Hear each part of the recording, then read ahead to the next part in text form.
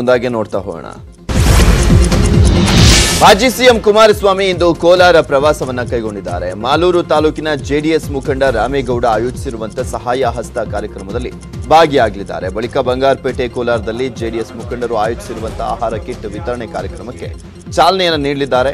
ಮಾಲೂರು ತಾಲೂಕಿನಲ್ಲಿ ಕೋವಿಡ್ನಿಂದ ಮೃತಪಟ್ಟವರಿಗೆ ತಲಾ ಹತ್ತು ಸಾವಿರ ರೂಪಾಯಿ ಪರಿಹಾರ ನೀಡುವುದಾಗಿ ಜೆಡಿಎಸ್ ಮುಖಂಡ ರಾಮೇಗೌಡ ಘೋಷಿಸಿದ್ದು ಆರ್ಥಿಕ ಸಹಾಯ ಹಸ್ತ ಕಾರ್ಯಕ್ರಮ ಹಾಗೂ ಐದು ಸಾವಿರಕ್ಕೂ ಅಧಿಕ ಬಡವರಿಗೆ ಆಹಾರ ಕಿಟ್ಟನ್ನು ನೀಡಲಿದ್ದಾರೆ.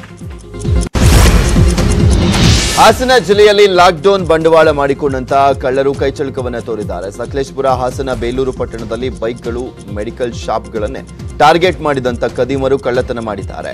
ಮನೆ ಮುಂದೆ ನಿಲ್ಲಿಸಿದಂತ ಎರಡು ಬೈಕ್ಗಳು ಹಾಗೂ ಆರು ಔಷಧಿ ಅಂಗಡಿಗಳಲ್ಲಿ ಕಳ್ಳತನ ಮಾಡುವಂತ ದೃಶ್ಯ ಸಿಸಿಟಿವಿಯಲ್ಲಿ ಸೆರೆಯಾಗಿದೆ. ಏಳು ಮಂದಿ ಕದಿಮರನ್ನ ಬಂಧಿಸಲಾಗಿದ್ದು, ಬೈಕ್ಗಳನ್ನ ವಶಪಡಿಸಿಕೊಳ್ಳಲಾಗಿದೆ. ಉಳಿದ ಕದಿಮರಿಗಾಗಿ ಪೊಲೀಸರು ಶೋಧವನ್ನು ನಡೆಸ್ತಾ ಇದ್ದಾರೆ.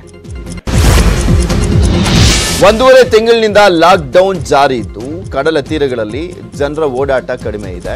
ಈ ಹಿನ್ನೆಲೆಯಲ್ಲಿ ಉತ್ತರ ಕನ್ನಡ ಜಿಲ್ಲೆಯ ಹೊನ್ನಾವರದಲ್ಲಿ ಕಡಲ ಆಮೆಗಳನ್ನು ರಕ್ಷಣೆ ಮಾಡಲಿಕ್ಕೆ ಅರಣ್ಯ ಇಲಾಖೆ ಮುಂದಾಗಿದೆ.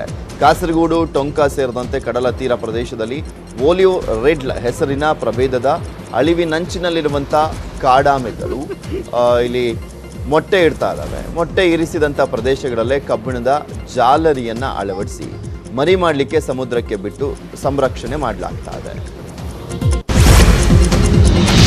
ಗುಡ್ಡದ ಪ್ರಪಾತಕ್ಕಿಳಿದಿದ್ದಂಥ ಗೋವುಗಳನ್ನು ಕೊಪ್ಪಳದಲ್ಲಿ ರಕ್ಷಣೆ ಮಾಡಲಾಗಿದೆ. ಮುಸ್ಲಿಂ ಯುವಕರ ತಂಡ ಪ್ರಪಾತದಲ್ಲಿ ಸಿಲುಕಿದ್ದಂಥ ಹಸುಗಳನ್ನು ರಕ್ಷಣೆ ಮಾಡಿದ್ದಾರೆ. ಐದು ದಿನಗಳ ಹಿಂದೆ ಪ್ರಪಾತದಲ್ಲಿ ಸಿಲುಕಿದ್ದಂಥ ನಾಲ್ಕು ಹಸುಗಳು ಹಸುವಿನಿಂದ ಬಳಲಿ ನಿತ್ರಾಣಗೊಂಡಿದ್ವು. ಮೀನು ಹಿಡಿಲಿಕ್ಕೆ ಹೋಗಿದ್ದಂಥ ಯುವಕರು ಹಸುಗಳನ್ನು ನೋಡಿ ರಕ್ಷಣೆ ಮಾಡಿದ್ದಾರೆ.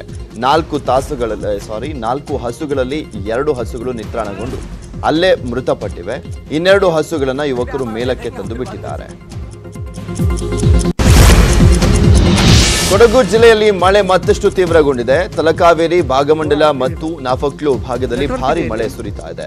ಪರಿಣಾಮ ಕಾವೇರಿ ನದಿಯ ನೀರಿನ ಹರಿಯುವಿಕೆ ಭಾರಿ ಏರಿಕೆ ಕಂಡಿದೆ. ಕಾವೇರಿ ನದಿಯಲ್ಲಿ ಅಪಾರ ಪ್ರಮಾಣದ ನೀರು ಹರಿತಾ ಇದ್ದು, ಹಲವೆಡೆ ಅಪಾಯದ ಮುನ್ಸೂಚನೆ ಕಾಣ್ತಾ ಇದೆ. ಮಡಿಕೇರಿ ತಾಲೂಕಿನ ಕಣ್ವ, ಬಲಮುರಿಯಲ್ಲಿ ಪಾರಾಣೆ ಸೇತುವೆ ಮುಳುಗಡೆ ಆಗಿದೆ. ಗ್ರಾಮಗಳಿಗೆ ಸಂಪರ್ಕ ಕಡಿತಗೊಂಡಿದ್ದು ಅರವತ್ತಕ್ಕೂ ಹೆಚ್ಚು ಕುಟುಂಬಗಳು ಬದಲಿ ಮಾರ್ಗವನ್ನು ಅನುಸರಿಸಬೇಕಾಗಿದೆ. ಉಳಿದ ಐದು ಸುದ್ದಿಯನ್ನು ನೋಡೋಣ, ಆದರೆ ಅದಕ್ಕೂ ಮುಂಚೆ ಒಂದು ಸ್ಮಾಲ್ ಬ್ರೇಕ್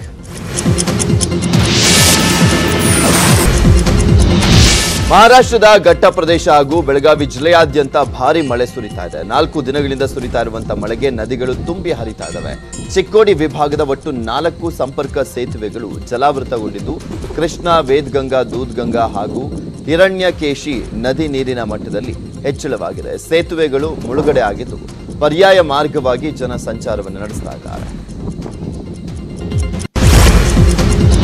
ಮಹಾರಾಷ್ಟ್ರದಲ್ಲಿ ಭಾರಿ ಮಳೆಯಾಗ್ತಾ ಇರುವಂತಹ ಹಿನ್ನೆಲೆಯಲ್ಲಿ ರಾಯಚೂರಿನ ಕೃಷ್ಣಾ ನದಿ ಪಾತ್ರದ ಜನರಿಗೆ ಪ್ರವಾಹದ ಭೀತಿ ಶುರುವಾಗಿದೆ. ಲಿಂಗಸ್ಗೂರು ತಾಲೂಕಿನ ನಡುಗಡ್ಡೆ ಗ್ರಾಮಗಳಿಗೆ ಅಧಿಕಾರಿಗಳು ಭೇಟಿಯನ್ನು ನೀಡಿ, ನಡುಗಡ್ಡೆ ನಿವಾಸಿಗಳಿಗೆ ಪ್ರವಾಹದ ವೇಳೆ ಮುನ್ನೆಚ್ಚರಿಕೆ ಬಗ್ಗೆ ಅರಿವನ್ನು ಮೂಡಿಸಿದರು. ಕಂದಾಯ, ಪೊಲೀಸ್, ಜಸ್ಕಾಂ ಹಾಗೂ ಗ್ರಾಮೀಣಾಭಿವೃದ್ಧಿ ಇಲಾಖೆ ಅಧಿಕಾರಿಗಳು ಮುನ್ನೆಚ್ಚರಿಕೆಯನ್ನು ನೀಡಿದರು. ನಡುಗಡ್ಡೆಗಳಿಂದ ಸುರಕ್ಷಿತ ಸ್ಥಳಕ್ಕೆ ತೆರಳುವಂತೆ ಸೂಚನೆಯನ್ನು ನೀಡಿದ್ದಾರೆ. ಚಿಕ್ಕಮಗಳೂರು ಜಿಲ್ಲೆಯ ಮಲೆನಾಡು ಭಾಗದಲ್ಲಿ ಕಳೆದ ಮೂರು ದಿನಗಳಿಂದ ಸುರಿತಾ ಇರುವಂತಹ ಸತತ ಮಳೆಯಿಂದಾಗಿ ಜನಜೀವನ ಸಂಪೂರ್ಣ ಅಸ್ತವ್ಯಸ್ತಗೊಂಡಿದೆ.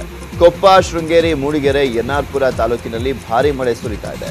ಮೂಡಿಗೆರೆ ತಾಲೂಕಿನಲ್ಲೂ ಕಳೆದ ಮೂರು ದಿನಗಳಿಂದ ರಣಗಾಳಿಯೊಂದಿಗೆ ಮಳೆ ಸುರಿತಾ ಇದ್ದು, ಮುಗ್ರಹಳ್ಳಿ ಸೇತುವೆ ಕೊಚ್ಚಿ ಹೋಗುವಂತ ಆತಂಕ ಎದುರಾಗಿದೆ.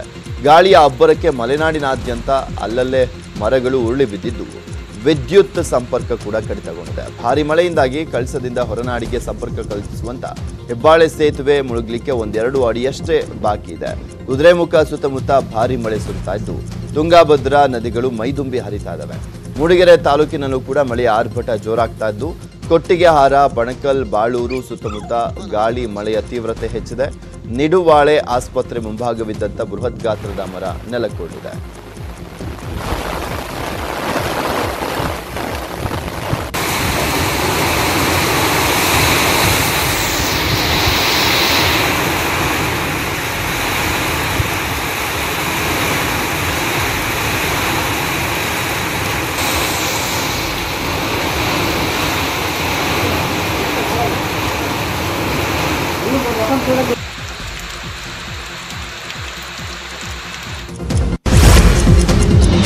ಕಾಫಿನಾಡಿನ ಮಲೆನಾಡು ಭಾಗದಲ್ಲಿ ಮಳೆಯ ಅಬ್ಬರ ಮುಂದುವರೆದಿದ್ದು, ನಿರಂತರ ಮಳೆಯಿಂದ ಚಾರ್ಮಡಿ ಘಾಟಿನ ಫಾಲ್ಸ್ಗಳಿಗೆ ಜೀವಕಲೆ ಬಂದಿದೆ. ಕಳೆದೊಂದು ವಾರದಿಂದ ಮಲೆನಾಡು ಭಾಗದಲ್ಲಿ ಮಳೆ ಆಗ್ತಾ ಇದೆ. ಚಾರ್ಮಡಿ ಘಾಟ್ ಆರಂಭವಾಗ್ತಿದ್ದಂತೆ ಪ್ರವಾಸಿಗರು, ಪ್ರಯಾಣಿಕರನ್ನ ಸ್ವಾಗತಿಸುವಂತಹ ಜಲಪಾತವಿಂದು ಮೈದುಂಬಿ ಹರಿತಾ ಇದೆ. ನೀರಿನ ವೇಗದ ಶಬ್ದವೇ ಮನಸ್ಸಿಗೆ ಮುದ ನೀಡ್ತಾ ಇದೆ.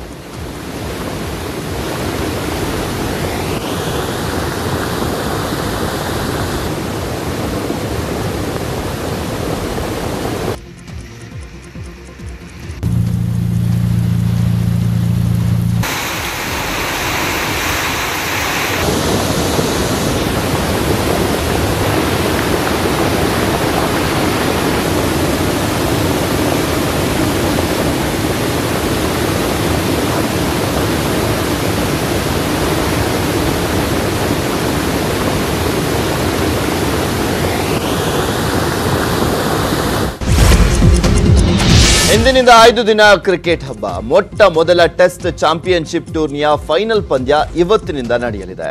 ಟೀಮ್ ಇಂಡಿಯಾ ಮತ್ತು ನ್ಯೂಜಿಲೆಂಡ್ ನಡುವೆ ಪೈಪೋಟಿ ನಡೆಯಲಿದ್ದು, ಟೆಸ್ಟ್ ಕ್ರಿಕೆಟ್ ನಂಬರ್ ಒನ್ ಮತ್ತು ನಂಬರ್ ಟೂ ತಂಡಗಳ ನಡುವೆ ಹೈ ವೋಲ್ಟೇಜ್ ಪಂದ್ಯ ನಡೆಯಲಿದೆ. ಮೊನ್ನೆ ಅಷ್ಟೇ ಇಂಗ್ಲೆಂಡ್ ವಿರುದ್ಧ ಸರಣಿ ಗೆದ್ದು ಇಂಗ್ಲೆಂಡ್ ನೆಲದಲ್ಲೇ ನ್ಯೂಜಿಲೆಂಡ್ ಫಾರ್ಮ್ನಲ್ಲಿದೆ. ಆದರೆ ಐಪಿಎಲ್ ಅರ್ಧಕ್ಕೆ ಮೊಟಕಾಗಿ ಇನ್ನು ಯಾವುದೇ ಪಂದ್ಯ ಆಡದೆ ಟೀಮ್ ಇಂಡಿಯಾ ಕ್ರೀಸ್ಗೆ ಇಳಿತಾ ಇದೆ. ಹೀಗಾಗಿ ಹುಲಿಗಳಿಗೆ ಇದು ಸವಾಲಿನ ಟೆಸ್ಟ್. ನ್ಯೂಜಿಲೆಂಡ್ ವಿರುದ್ಧ ಪಂದ್ಯದಲ್ಲಿ ಕೊಹ್ಲಿ ಶತಕವನ್ನು ಬಾರಿಸಿದರೆ ನಾಯಕನಾಗಿ ಹೆಚ್ಚು ಅಂತಾರಾಷ್ಟ್ರೀಯ ಶತಕಗಳನ್ನು ಗಳಿಸಿದ ಆಟಗಾರನಾಗ್ತಾರೆ. ಈ ಸಂದರ್ಭದಲ್ಲಿ ಅವರು ಆಸ್ಟ್ರೇಲಿಯಾದ ರಿಕ್ಕಿ ಪಾಂಟಿಂಗ್ ಅವರನ್ನ ಹಿಂದಿಕ್ಕಿದ್ದಾರೆ. ಪಾಂಟಿಂಗ್ ಮತ್ತು ಕೊಹ್ಲಿ ಇಬ್ಬರು ನಾಯಕನಾಗಿ ನಲವತ್ತೊಂದು ಶತಕಗಳನ್ನು ಬಾರಿಸಿದ್ದಾರೆ.